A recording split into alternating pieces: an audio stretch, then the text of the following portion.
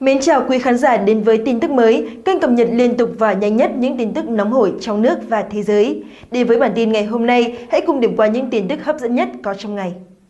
Việt Anh là một trong những sao nam Vbiz hiếm hoi chịu công khai chuyện từng giao kéo với công chúng.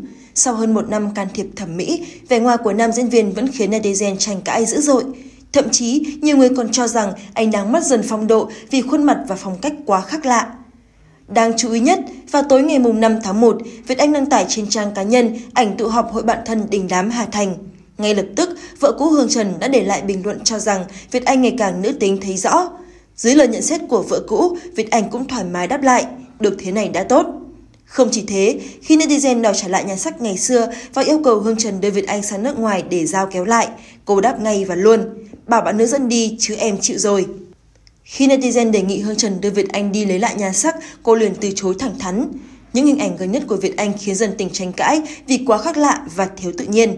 Hậu ly hôn, Hương Trần và Việt Anh vẫn giữ tương tác trên mạng xã hội, thường xuyên quan tâm đến cuộc sống của đối phương. Và những dịp đặc biệt, cặp đôi cũng thoải mái lộ diện bên nhau để đưa con trai nhỏ đi chơi. Tuy nhiên, khi được dân tình đề nghị tái hợp, cả hai đã khéo từ chối và cho rằng mối quan hệ hiện tại là tốt nhất. Bản tin vừa rồi cũng đã kết thúc chương trình của tin tức mới. Cảm ơn quý vị và các bạn đã chú ý theo dõi. Mọi ý kiến trái chiều mời quý vị để lại trong phần bình luận video này để đội ngũ của chúng tôi có thể kịp thời trả lời. Xin kính chào quý vị và hẹn gặp lại trong những bản tin kế tiếp của tin tức mới.